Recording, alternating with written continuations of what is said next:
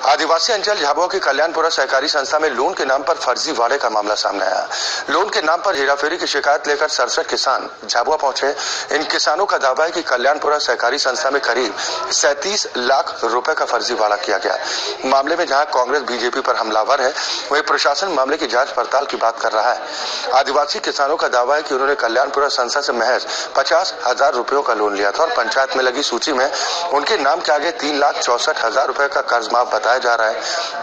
अबजी नामक किसान ने आरोप लगाया कि उसकी माँ का देहांत 30 वर्ष पहले हो चुका है, लेकिन संस्था की सूची में उनकी मृत माँ का भी दो लाख तैतालीस हज़ार से ज़्यादा का कर्ज माफ़ कर दिया गया।